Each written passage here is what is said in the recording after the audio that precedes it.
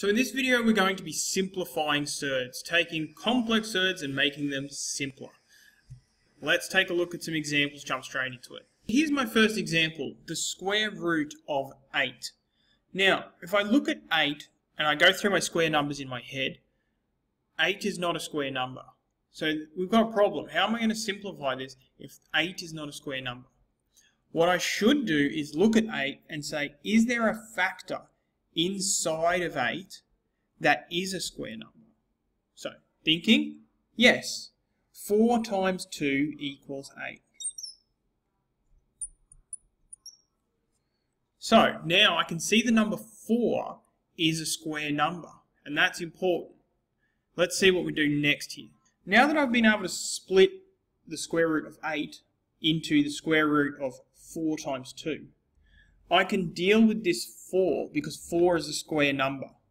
And I can take it from here and move it outside of the root symbol because the square root of 4 is 2. So when it comes out of here, it's going to turn from being a 4 into being a 2.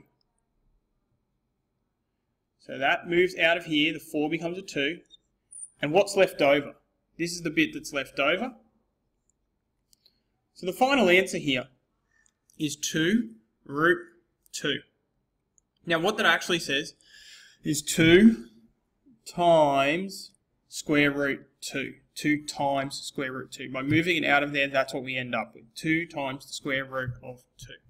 Now you can type this into your calculator and you can type this into your calculator and it will give you the same answer both times. The square root of 8 is equal to 2 square root 2. 2 times the square root of 2. Let's take a look at another example. The square root of 27. Now, I think about my square numbers. 27 isn't a square number. Is there a square number that is a factor of 27? Something times something makes 27, and one of those somethings is a square number. Think about it. Do it in your own head. Okay. Something times something. 9 times 3.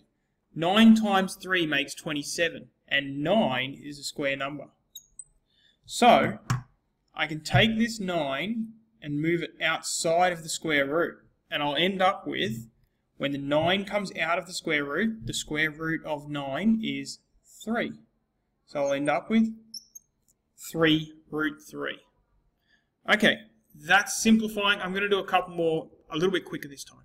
Okay, so square root 48. How am I going to figure that out? Now, there's a couple of different ways to solve this one, but I'm going to go at it the fastest way possible. Okay, thinking of my square numbers, is there a factor 48 that will, um, that will, are there two numbers that when multiplied together will make 48, but one of them is a square number? All right, you have a think in your own head. This is what I'm coming up with. 16 times 3. Now, if you didn't come up with that, that's okay. But 16 is a square number. So, 16 is going to come outside of the square root. And when 16 comes outside of the square root, the square root of 16 is 4. That's going to be 4 root 3. Now, that's one way to solve that question. I've gone, I've seen 16, and I've gone 16 times 3, move that outside 4 root 3. Now, if you looked at 48 and you didn't see 16 straight away, that's okay. I'm going to show you a second way to solve the same question. Okay, square root 48. Same question as before. Hopefully I'll end up with the same answer, but I'm going to tackle it a different way. I look at the square root of 48 and I think two numbers, one of them has to be square. Alright, have you got one? Here it is. 4 times 12. 4 times 12 is 48. 4 is a square number.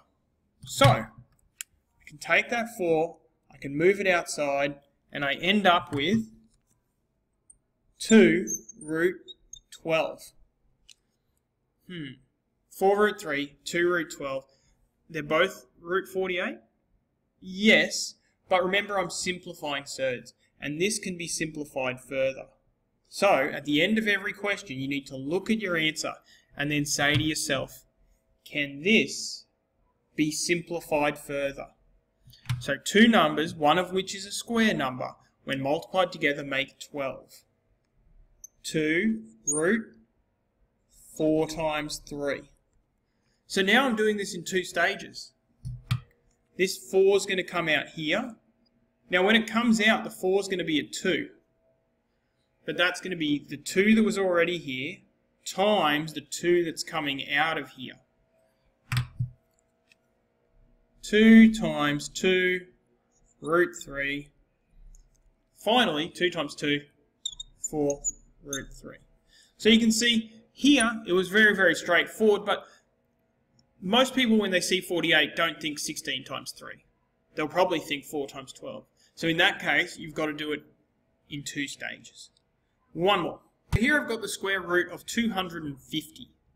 Now, 250, if you see something that ends in a 50 or a 25 or a 100, you should immediately be thinking 25.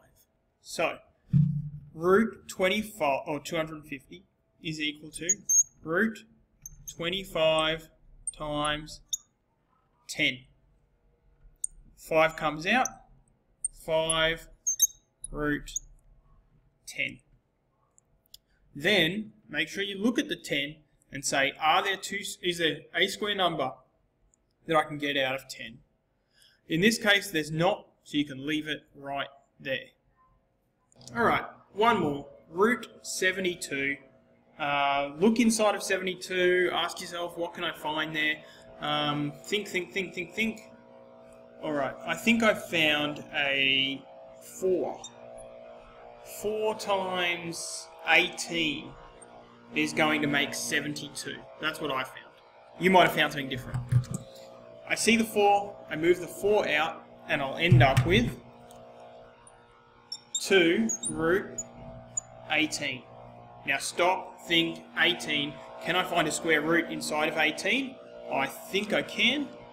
2 root 9 times 2.